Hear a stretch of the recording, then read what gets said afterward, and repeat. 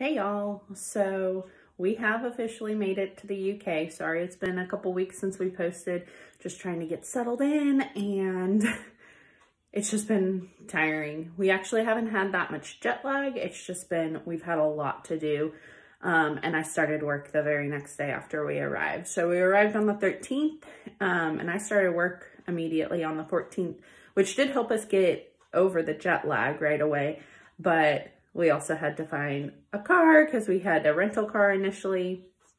So we found a car. We have gotten our bank settled. We um, have now found a place to live and are going through the referencing process with that.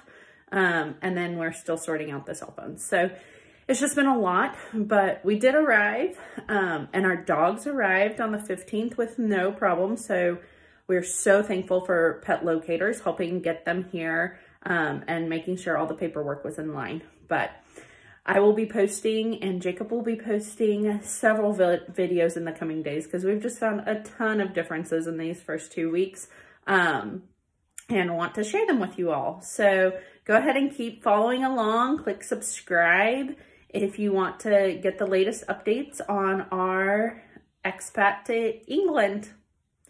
Bye.